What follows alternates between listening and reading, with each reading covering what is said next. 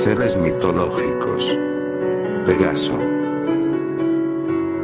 Pegaso era un caballo alado, es decir que poseía alas, fue el primer caballo que llegó a estar entre los dioses, esto porque, él fue el caballo de Zeus, dios del cielo y de la tierra, Pegaso nació de la sangre derramada por Medusa cuando Perseo le cortó la cabeza, a Pegaso se lo suele representar de color blanco o negro, Posee dos alas que le permiten volar, una característica de su vuelo es que cuando lo realiza, mueve las patas como si en realidad estuviera corriendo por el aire, Belerofonte fue uno de los seres que montó a Pegaso, ya que en el lomo del equino alado logró dar muerte a la quimera, quien fue una bestia de múltiples cabezas, que asolaba los territorios de Licia, incluso este personaje junto a Pegaso, pudieron obtener igualmente una victoria sobre las Amazonas, pero no contento con esto, Belerofonte encarna el defecto de la excesiva ambición, por lo cual decide subir al Olimpo para convertirse en un dios,